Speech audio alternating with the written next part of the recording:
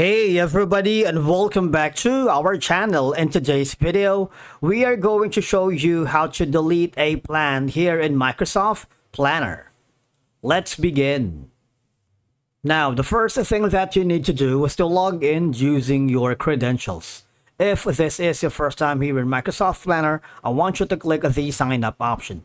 And from here, just follow the on-screen instructions and you're good to go.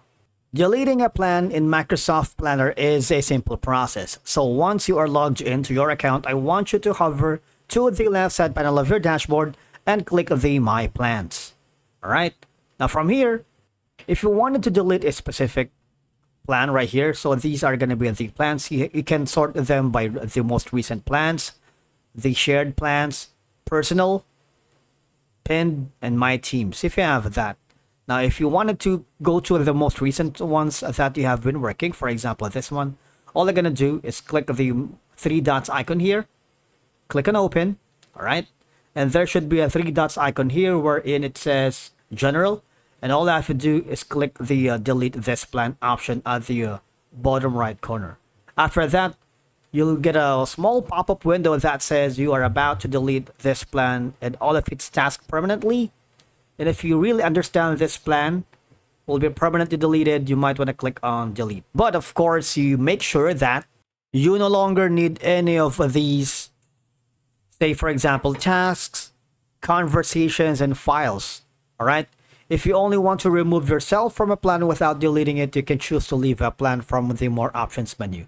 All right. Because remember that plans created for initiatives that are no longer relevant or canceled may clutter the planner space so deleting them can prevent distractions, all right?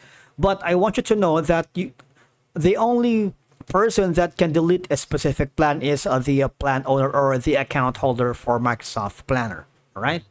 If you're just a um, collaborator, you're not going to be able to uh, delete any plans here. Your your uh, access is kind of limited. But if you don't, if you wanted, if you are just a collaborator, the option that you can only do is basically just hide a specific plan right here.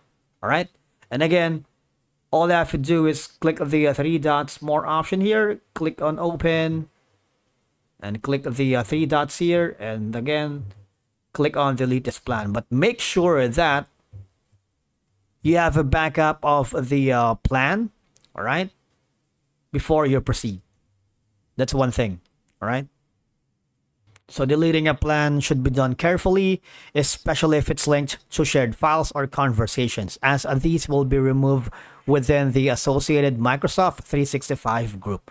Thank you so much for watching. We will see you again in the next video.